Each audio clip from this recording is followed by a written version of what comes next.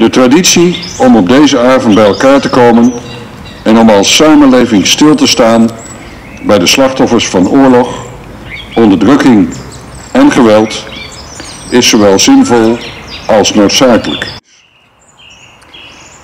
Naast mij staat Lieke Dekker. En Lieke zal nu een gedicht voordragen.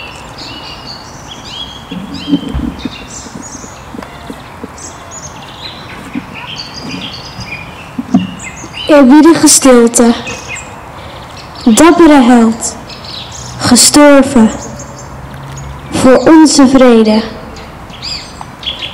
Onschuldig kind, vermoord ondanks de smeekbeden. Nooit zullen we jullie vergeten. En nooit zal ik echt weten hoe het was in die tijd.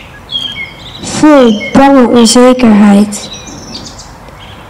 Ik kan alleen maar dankbaar zijn voor mijn vrijheid. En die goed benutten in deze vredestijd.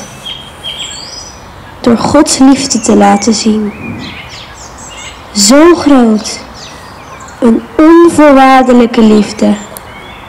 Sterker dan de dood. Uit respect voor jou word ik nu eerst stil. Jouw leven was niet zinloos. Het maakt zelfs nu nog verschil.